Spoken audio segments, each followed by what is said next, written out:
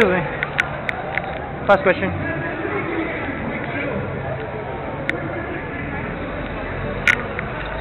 Excuse me. Last question. Sure. You seem like really artistic. Like, are you into the arts? Not really. Not really? No.